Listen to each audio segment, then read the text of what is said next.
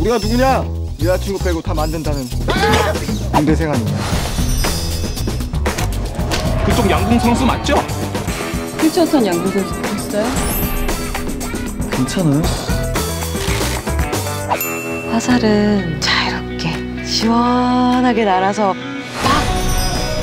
누군가의 도움이 필요할 때 네가 와서 도와주면 안 돼? 네 옆에 있고 싶어